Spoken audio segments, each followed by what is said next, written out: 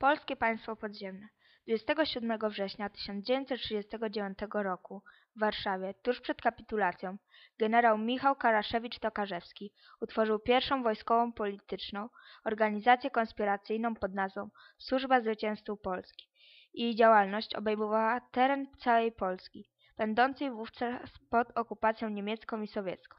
Pierwsza organizacja konspiracyjna zapoczątkowała istnienie Polskiego Państwa Podziemnego.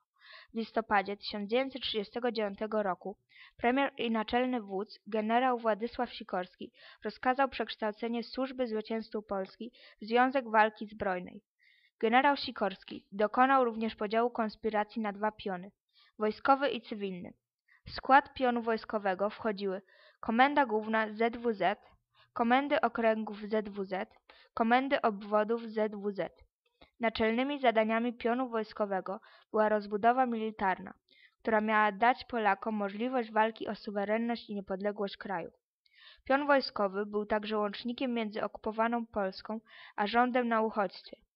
Chronił pion cywilny i zapewniał bezpieczeństwo jego pracownikom.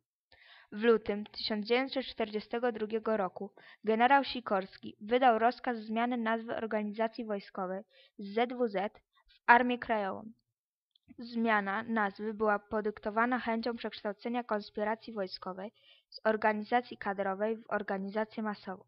Dzięki przekształceniom Armia Krajowa stała się największą armią podziemną w okupowanym. Dowódcami tego zbrojnego ramienia podziemnego państwa byli generał brygady Michał Karaszewicz-Tokarzewski-Torwit od września 1939 roku do stycznia 1940 roku, generał broni Kazimierz Sosnowski-Godzięba od listopada 1939 roku do czerwca 1940 roku, generał dywizji Stefan Rowecki-Grot od czerwca 1940 roku do czerwca 1943 roku, generał dywizji Tadeusz Komorowski-Bur od lipca 1943 roku do października 1944 roku, generał brygady Leopold Okulicki-Niedźwiadek od października 1944 roku do 19 stycznia 1945 roku.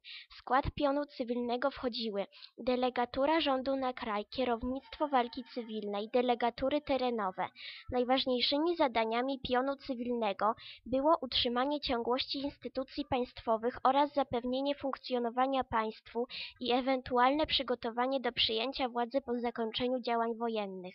Delegatami rządu na kraj byli Cyryl Ratajski-Warstki, od grudnia 1940 roku do sierpnia 1942 roku, Jan Pikałkiewicz-Juliański od sierpnia 1942 roku do lutego 1943 roku, Jan Stanisław Jankowski-Sobol od lutego 1943 roku do marca 1945 roku, Stefan Korboński-Zieliński od marca 1945 roku do czerwca 1945 roku.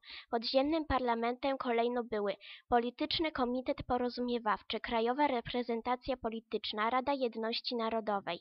W ich skład wchodziły największe stronnictwa polityczne. Polskie państwo podziemne istniało przez cały okres II wojny światowej i było fenomenem na skalę światową. Mimo bezwzględnego terroru funkcjonowały wszystkie jego organy, zarówno cywilne, jak i wojskowe. Była to szczególna walka o zachowanie ciągłości państwa i życia narodu.